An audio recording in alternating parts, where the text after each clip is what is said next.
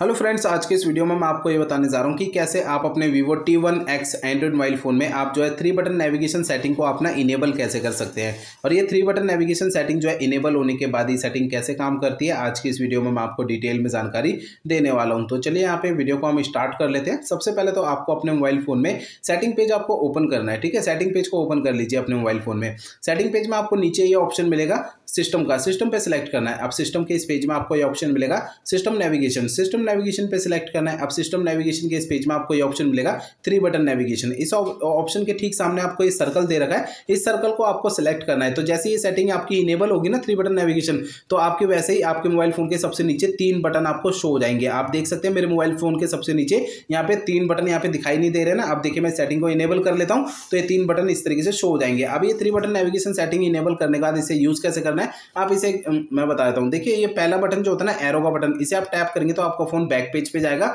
और ये बीच वाला सर्कल का बटन अगर आप दबाएँगे तो आपका फ़ोन मोबाइल फ़ोन की होम स्क्रीन पे जाएगा। और ये तीसरा बटन अगर आप दबाएँगे ना, तीन लाइन वाला, इसे आप दबाएँगे तो आपका फ़ोन ओवरव्यू हो जाएगा। तो इस तरीके से थ्री बटन नेविगेशन सेटिंग आप यूज़ कर पाएँगे, ठीक है? इनेबल करने के बाद। अब मैं आपको ये थ्री बटन नेविगेशन सेटिंग को ढूँढने का एक शॉर्टकट तरीका बता देता हूँ आपके मोबाइल फ़ोन में।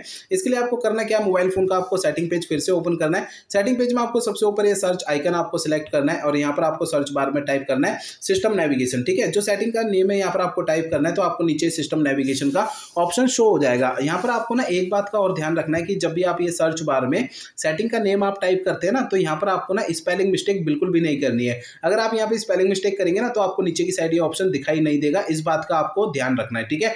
तो चलिए यहाँ पर वीडियो को हम आगे कंटिन्यू करते हैं। जब ये नीचे की साइड ऑप्शन शो होता है ना, इसे आपको सिलेक्ट करना है। इससे क्या होगा? आपका मोबाइल फ़ोन आपको डायरेक्टली सेटिंग में लेकर आ जाएगा और इस सेटिंग को हाईलाइट करेगा। तो ये मैंने आपको एक शॉर्टकट तरीका भी बता दिया इस सेटिंग को ढूँढने का। जैसे ही आप इस सेटिंग को सिलेक्ट करेंगे तो आपको नेक्स्ट पेज में थ्री बटन नेविगेशन का ऑप्शन मिल जाएगा।